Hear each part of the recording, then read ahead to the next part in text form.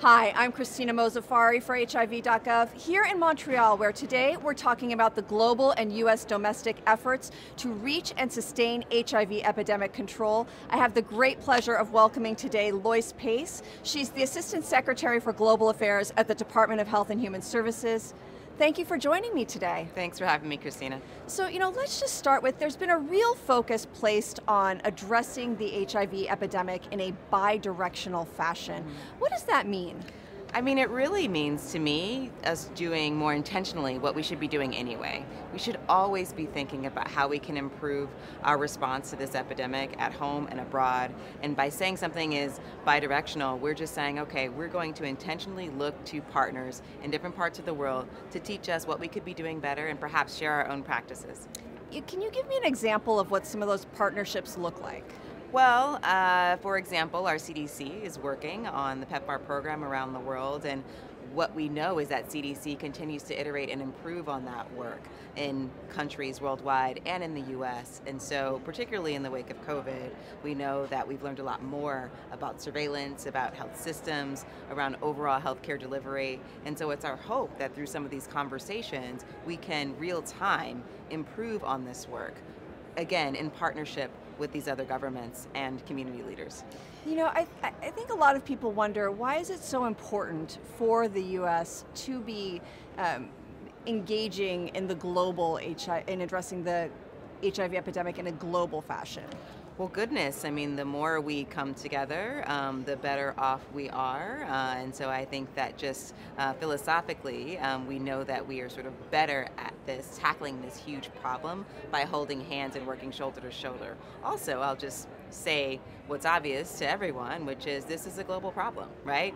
We are fighting HIV worldwide, and so our response, likewise, has to have that same scope. We can't just focus on this issue within our borders, and this builds on a legacy of U.S. Uh, engagements in public health, in health overall around the world, and so our focus uh, worldwide on HIV is no different.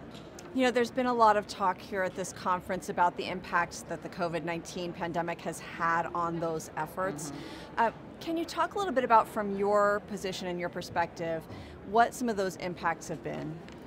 Well, they've been uh, varied. I mean, we know that uh, people living with HIV actually were at risk of really facing a lot of other issues outside of the health space. We know that the work in HIV, um, obviously, and access to ARVs, for example, uh, was also at risk of backsliding. But I think what we don't talk about enough is how some of these communities, especially historically marginalized and vulnerable communities, were faced with additional uh, risks or threats when it came to lockdowns. Um, there is increased gender-based violence uh, in the wake of COVID-19 that we've seen through the data.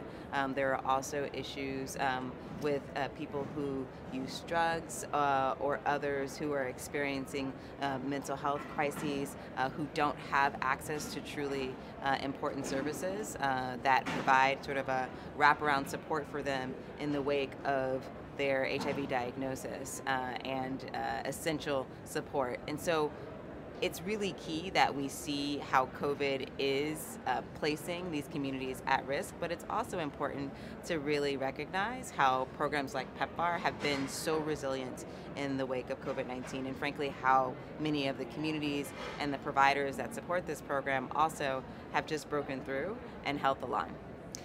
You know, uh, finally, there, has been this, one of the themes of this conference has been the recommitment to really um, highlighting the science. Mm-hmm. And a lot of talk of, okay, the science is one thing, but making sure we implement it, making sure it benefits right. the communities mm-hmm. is another.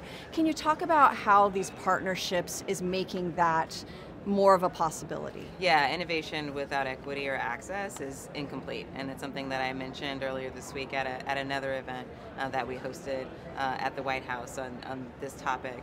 So I think that these partnerships really keep us honest. I think that having this type of bi-directional engagement, right, these convenings, this level of coordination, is really ensuring that just as NIH could work towards an HIV vaccine, we can simultaneously ensure that there are communities informing that process and helping us understand where that innovation needs to go and how we can get it there.